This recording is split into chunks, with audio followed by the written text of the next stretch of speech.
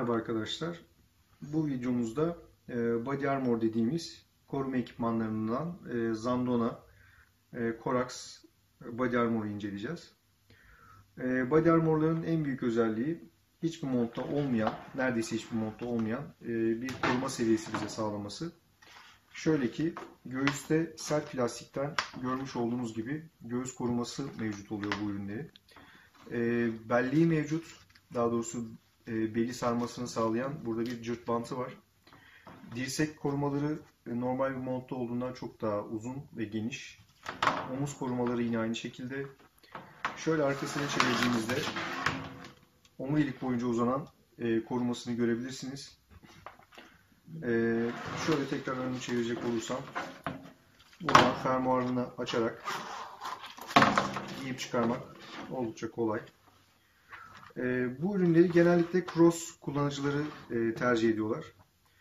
E, ama her motora aslında kullanılabilir. Her motora uygundur. Şöyle ki e, görüntü olarak filedir.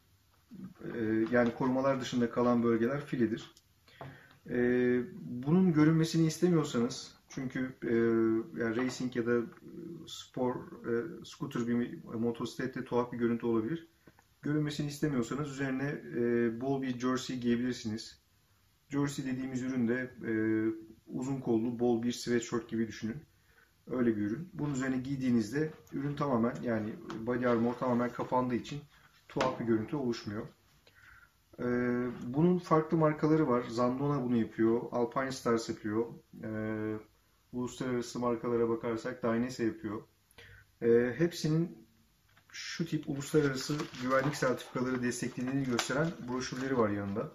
Bunları dikkatli okumanızı öneririm çünkü içinde özellikle şu ibareye dikkat edin. N1621 diye bir sertifika var. Bu sertifika sadece koruma ekipmanlarına verilen özel bir sertifikadır. Ve e, belli bir hızla, sabit bir hızla, sabit bir e, noktaya darbe testi yapılarak e, laboratuvar ortamında ancak o testlerden geçerse o ürüne verilen bir sertifikadır. E, ona dikkat etmenizde fayda var. Mesela bu elimdeki ürünün N1621-2 sertifikası var. Bunun anlamı da Level 2 dediğimiz sertifikadır.